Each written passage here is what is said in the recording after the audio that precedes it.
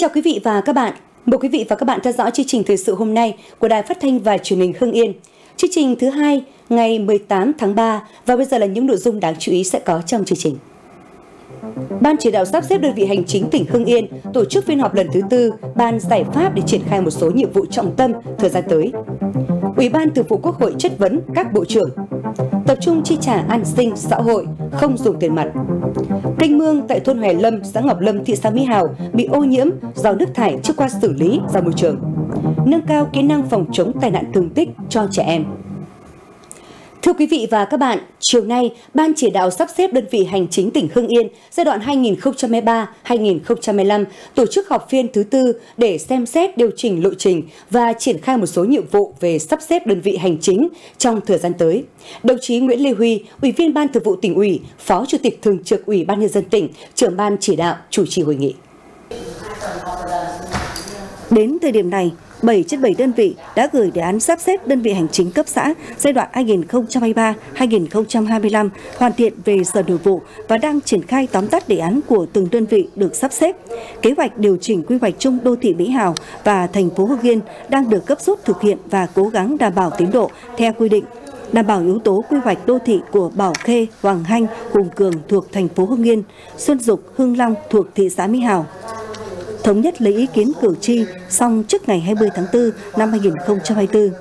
Hội đồng Nhân dân cấp xã họp thông qua chủ trương sắp xếp xong trước ngày 26 tháng 4 năm 2024. Hội đồng Nhân dân cấp huyện họp thông qua chủ trương sắp xếp xong trước ngày mùng 5 tháng 5 năm 2024. Hội đồng Nhân dân tỉnh họp thông qua chủ trương sắp xếp xong trước ngày 25 tháng 5 năm 2024, trình Bộ Nội vụ trước ngày 1 tháng 6 năm 2024 các thành viên ban chỉ đạo đã tập trung thảo luận về tiến độ thực hiện quy hoạch tỉnh và đề án thành lập 5 phường thuộc thành phố Hưng Yên, chế độ hỗ trợ đối với cán bộ công chức, người hoạt động dôi dư do sắp xếp đơn vị hành chính, hướng dẫn của các sở ban ngành cấp tỉnh đóng góp ý kiến hoàn thiện tài liệu tuyên truyền về sắp xếp đơn vị hành chính cấp xã. Dự kiến là cái ngày mà thành phố tổ chức lấy ý kiến cử tri là ngày mùng 10 à, tháng 4 và à, như vậy là sẽ à, thực hiện xong trước cái ngày 20 tháng 4 theo như là cái thời hạn mà Sở Nội vụ giao. Tiến độ chúng tôi sẽ đảm bảo theo à, quy định. Phát biểu kết luận phiên họp, đồng chí Phó Chủ tịch Thường trực Ủy ban dân tỉnh Nguyễn Lê Huy ghi nhận việc các địa phương đã hoàn thành đề án sắp xếp đơn vị hành chính cấp xã với dự kiến về phương án tên gọi và lấy ý kiến cử tri để thực hiện.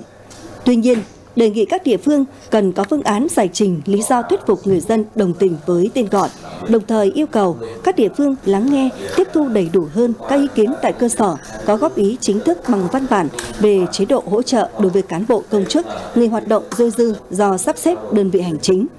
yêu cầu Sở Kế hoạch và Đầu tư chủ trì khẩn trương phối hợp với các cơ quan ban ngành trung ương, các cơ quan chuyên môn cấp tỉnh có liên quan sớm thống nhất trình chính phủ xem xét phê duyệt đồ án quy hoạch tỉnh và tiến độ thực hiện năm xã lên phường để đảm bảo đồng bộ và kịp thời với đề án sắp xếp của tỉnh. Các đơn vị mà có cái hướng dẫn về ngành dọc chuyên môn ấy, Ờ, thì cũng đề nghị các đồng chí là chủ động xây dựng các cái kế hoạch để hướng dẫn cấp dưới sở kế hoạch đầu tư và thì ngoài cái nội dung quy hoạch thì cùng với cả các ờ, sở chuyên môn thì quan tâm việc trình thẩm định để tham mưu cho ủy ban phê duyệt các quyết định các cái chủ trương. Còn ờ, các địa phương thì ngoài cái việc triển khai các cái đồ án rồi xây dựng cái đề án thì cũng quan tâm hơn nữa để tham gia góp ý các cái chế độ chính sách và đặc biệt là phối hợp với cả chỗ ban tuyên giáo tỉnh ủy, các đoàn thể chính trị xã hội cùng với vai trò của mặt trận tổ quốc trong cái việc tuyên truyền vận động người dân làm sao để khi mà chúng ta tiến hành, chúng ta thực hiện là nó đạt hiệu quả cao tục chương trình phiên họp thứ 31 hôm nay tại nhà Quốc hội, Ủy ban Thường vụ Quốc hội tổ chức phiên chất vấn và trả lời chất vấn đối với các nhóm vấn đề thuộc lĩnh vực của Bộ Tài chính và Bộ Ngoại giao. Phiên chất vấn được kết nối trực tuyến tới 62 điểm cầu các tỉnh thành phố trực thuộc Trung ương. Đồng chí Nguyễn Đại Thắng, Phó trưởng đoàn chuyên trách, phụ trách đoàn đại biểu Quốc hội tỉnh Hưng Yên, chủ trì tại điểm cầu tỉnh Hưng Yên. Buổi sáng, các đại biểu Quốc hội chất vấn Bộ trưởng Bộ Tài chính Hồ Đức Phước về các nhóm vấn đề công tác quản lý giám sát hoạt động kinh doanh bảo hiểm và các hoạt động dịch vụ thuộc lĩnh vực kinh doanh bảo hiểm nhân thọ, việc thẩm định cấp phép hoạt động của các công ty làm dịch vụ liên quan đến tài chính, việc thực hiện pháp luật đối với hoạt động kinh doanh sổ số, đặt cược casino và trò chơi điện tử có thưởng, thủ tục hải quan, kiểm tra giám sát hải quan, phòng chống buôn lậu, vận chuyển trái phép hàng hóa qua biên giới, công tác quản lý giá và việc quyết định giá hàng hóa dịch vụ thuộc danh mục hàng hóa dịch vụ do nhà nước định giá. Buổi chiều, đại biểu tiếp tục chất vấn Bộ trưởng Bộ Ngoại giao Bùi Thanh Sơn tập trung vào các nhóm vấn đề công tác bảo hộ công dân Việt Nam ở nước ngoài, tình trạng vi phạm pháp luật của công dân Việt Nam ở nước ngoài và của người nước ngoài tại Việt Nam, bảo vệ quyền và lợi ích hợp pháp của ngư dân Việt Nam, thực trạng việc triển khai các thỏa thuận song phương, đa phương và giải pháp thúc đẩy thực hiện các thỏa thuận hợp tác kinh tế, thương mại đầu tư công tác hỗ trợ mở rộng thị trường hàng hóa xuất khẩu, hỗ trợ doanh nghiệp Việt Nam tránh bị lừa đảo, hoạt động xúc tiến và quảng bá du lịch Việt Nam với thế giới. Tại phiên chất vấn, các đại biểu Quốc hội đã tranh luận thẳng thắn trách nhiệm, câu hỏi ngắn gọn, đi thẳng vào vấn đề. Các bộ trưởng trả lời đúng trọng tâm, làm rõ từng nội dung chất vấn, góp phần nâng cao hiệu lực hiệu quả công tác điều hành lĩnh vực quản lý.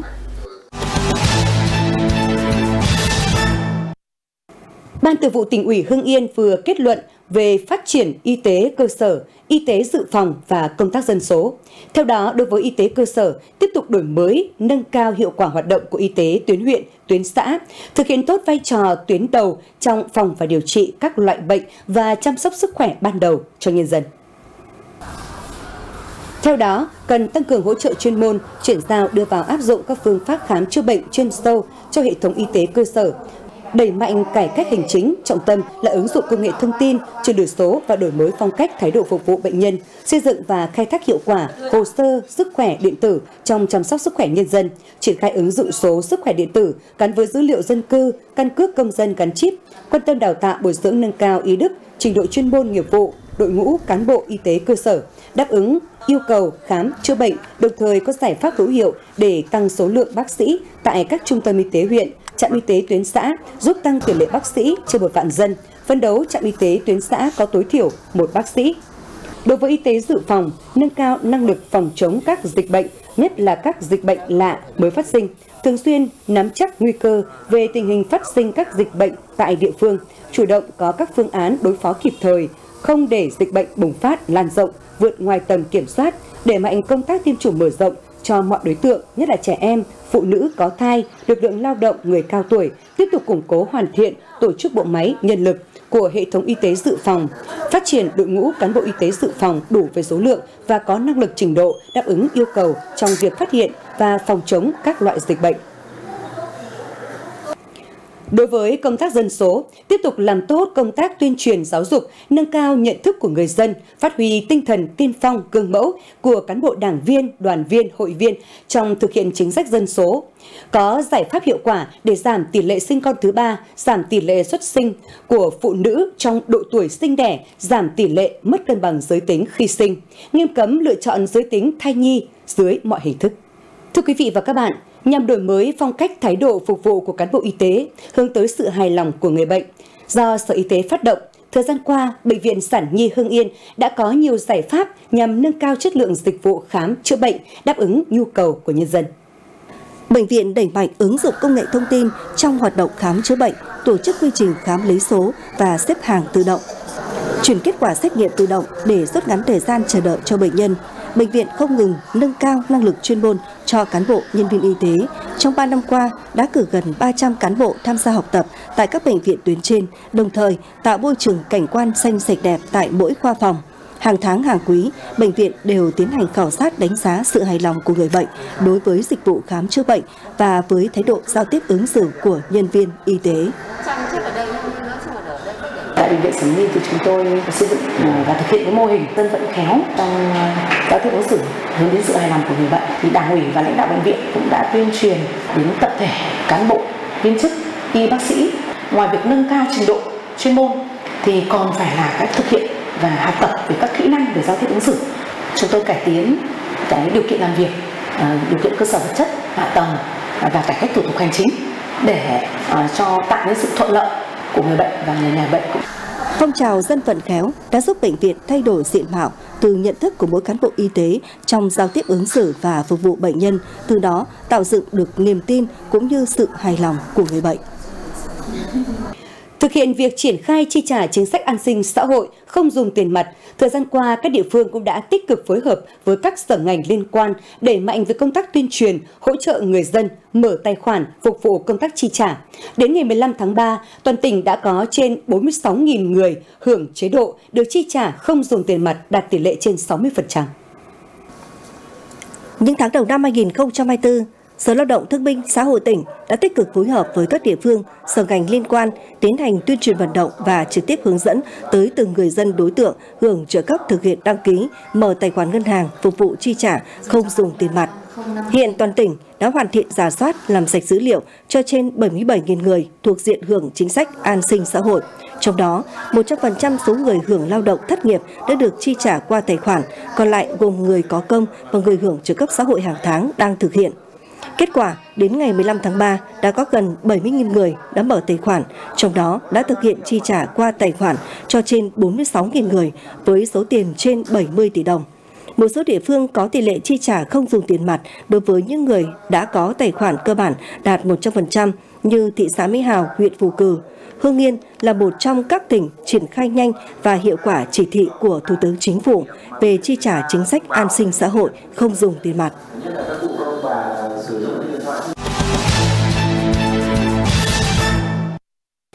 Thưa quý vị và các bạn, nhiều năm nay, người dân thôn Hòe Lâm, xã Ngọc Lâm, thị xã Mỹ Hào rất bức xúc về một số công ty doanh nghiệp trên địa bàn đã xả nước thải ra hệ thống kênh mương thoát nước, gây ô nhiễm môi trường nghiêm trọng.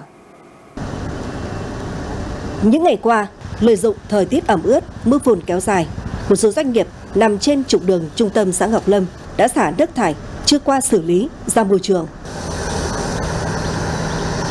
Và đây là hình ảnh chúng tôi ghi được tại tuyến mương thoát nước tại dự án sản xuất và đóng gói phân bón NPK của công ty cổ phần đầu tư Quỳnh Trang những ngày cuối tuần vừa qua. Cả một đoạn mương dài hàng trăm mét, nước đã bị bao phủ một màu trắng đục. Do bà con phát hiện được là cứ bà con về phản ánh lại. Có ý kiến nhiều lần với địa phương rồi. Thì bây giờ thực tế là địa phương cũng có nên nhắc nhở rồi. Nhưng mà bây giờ công ty vẫn cố tình đưa ra những cái mùi này khó chịu, thoát chảy ra cái sông cầu lượng. quanh cái khu vực dân cư của chúng tôi cũng đã ô nhiễm từ lâu rồi.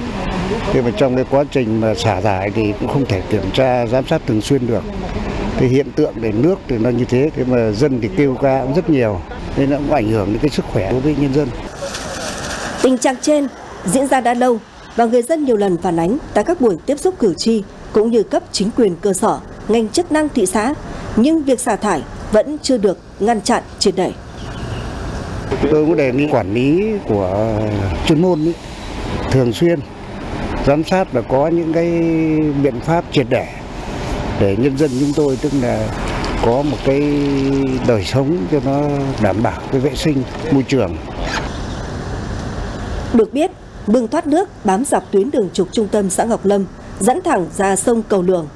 Và trên tuyến đường này hiện đang có một số doanh nghiệp sản xuất nhiều ngành nghề.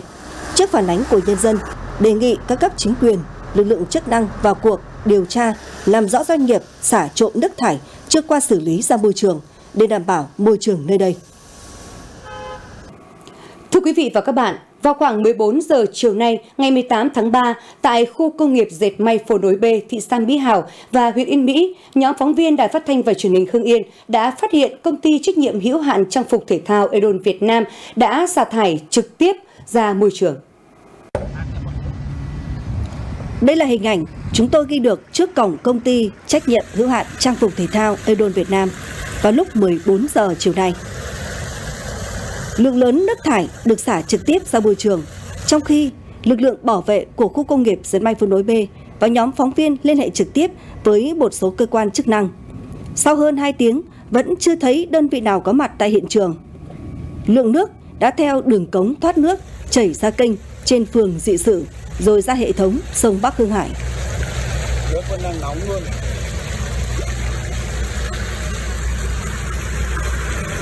Đến cuối giờ chiều nay, đại diện một số ngành chức năng đã đến kiểm tra lấy mẫu nước của doanh nghiệp thải ra môi trường. Vấn đề này chúng tôi sẽ tiếp tục phản ánh trong các bản tin tiếp theo. Thưa quý vị và các bạn, trong đợt gia quân tấn công trấn áp tội phạm, đảm bảo an ninh trật tự, Tết Dương lịch và Tết Nguyên đán Giáp Thìn 2024, lực lượng công an tỉnh đã phát hiện hơn 1.000 vụ việc, gần 1.500 đối tượng tội phạm và vi phạm pháp luật. Trong đó, đã làm rõ khởi tố 329 vụ việc với 520 bị can, xử lý hành chính 519 vụ với 537 đối tượng. Đang tiếp tục xác minh gần 160 vụ việc và đối tượng, chuyển cơ quan chức năng xử lý theo thẩm quyền trên 120 vụ việc và đối tượng. Triệt phá thành công 46 chuyên án, gồm các chuyên án về hình sự, ma túy, kinh tế, mua bán trái phép thông tin dữ liệu trên không gian mạng. Kết quả trên không chỉ giúp cho nhân dân vui Tết đón xuân vui vẻ, bình yên, mà còn giúp cho các lực lượng công an tỉnh chủ động nắm chắc tình hình địa bàn, tuyến, phân loại đối tượng, dự báo phân tích về diễn biến của tội phạm, qua đó tiếp tục thực hiện công tác đấu tranh ngăn chặn, phòng chống tội phạm với mục tiêu giữ vững an ninh chính trị, đảm bảo trật tự an toàn xã hội, góp phần quan trọng trong việc phát triển kinh tế xã hội của tỉnh trong thời gian tiếp theo. Vào khoảng 15 giờ chiều nay, tại đường nối hai cao tốc Hà Nội Hải Phòng với cầu rẽ Ninh Bình, đoạn đi qua thôn Cộng Vũ, xã Vũ Xá, huyện Kim Động, đã xảy ra vụ tự nạn là một người tử vong tại chỗ. Vào thời gian trên, xe mô tô mang biển kiểm soát 89B2 16818 do một nạn nhân nam thanh niên sinh năm 1994 điều khiển theo hướng từ thành phố Hưng Yên đi Kim Động. Khi đến địa phận gần cầu vượt Cộng Vũ, đã tự nạn, nạn nhân tử vong tại chỗ. Những ngày gần đây, thời tiết ở miền Bắc mưa nồm, đường trơn trượt nên khi tham gia giao thông, người điều khiển phương tiện nên thận trọng, không phóng nhanh vượt ẩu, đi đúng làn đường theo quy định. Sáng nay, tại trường tiểu học Tô Hiệu, xã Nghĩa Trụ, huyện Văn Giang, Hội đồng đội tỉnh tổ chức ngày hội Thiếu nhi vui khỏe, hưởng ứng 7 tuần thi đua cao điểm của Thiếu nhi Việt Nam chào mừng kỷ niệm 70 năm chiến thắng lịch sử Điện Biên Phủ, mùng 7 tháng 5 năm 1954, mùng 7 tháng 5 năm 2024, bắt đầu từ ngày 18 tháng 3. Ngày hội nhằm ghi nhớ tư tưởng của Chủ tịch Hồ Chí Minh trong việc chăm lo giáo dục thiếu niên nhi đồng, Hội đồng đội tỉnh phát động thi đua tới toàn thể thiếu nhi trong tỉnh, tập trung vào các nội dung các em đội viên thiếu niên và nhi đồng về tinh thần yêu nước, ý nghĩa và giá trị của chiến thắng Điện Biên Phủ. Cùng với đó, tổ chức các chương trình cuộc thi cho thiếu nhi như sưu tập và tìm hiểu tem bưu chính năm 2023 với chủ đề 70 năm chiến thắng lịch sử Điện Biên Phủ qua con tem bưu chính, Ngày hội thiếu nhi vui khỏe tiến bước lên đoàn, Ngày hội sắc màu, cuộc thi vẽ tranh dành cho thiếu nhi năm 2024 với chủ đề Em là chiến sĩ nhỏ Điện Biên. Nhân dịp này, Hội đồng đội tỉnh tặng một xuất quà cho thân nhân đồng chí Tô Hiệu, 10 xuất quà cho học sinh trường tiểu học Tô Hiệu có hoàn cảnh khó khăn. Nhằm nâng cao hiệu quả hoạt động tuyên truyền về công tác phòng chống tai nạn thương tích ở trẻ em, sáng nay, Sở Lao động Thương binh Xã hội tỉnh Hưng Yên phối hợp với Công an tỉnh tổ chức truyền thông về kỹ năng tự bảo vệ phòng chống bỏng, đuối nước, cứu nạn cho hơn 600 trẻ em trường tiểu học xã Thụy Lôi, huyện Tiền Lữ. Tại Hưng Yên, trung bình mỗi năm có hàng trăm trẻ em bị tai nạn thương tích, trong đó có khoảng 30 trẻ em bị tử vong. Riêng trong năm 2023, toàn tỉnh có 40 trẻ em bị tử vong do tai nạn thương tích, trong đó tử vong do đuối nước, tai nạn giao thông, bỏng và ngạt thở, hóc nghẹn chiếm tỷ lệ cao.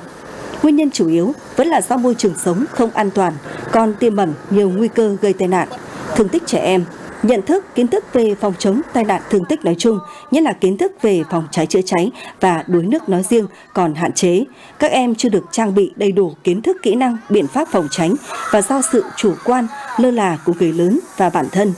Thông qua buổi tuyên truyền, giúp các em nắm bắt được những kiến thức kỹ năng phòng chống cháy bỏng, đuối nước, điện giật và thoát hiểm khi xảy ra hỏa hoạn, biết cách vận dụng kiến thức đã được thầy cô và báo cáo viên trang bị vào thực tế cuộc sống để tự bảo vệ mình, phòng tránh được những tai nạn đáng tiếc có thể xảy ra.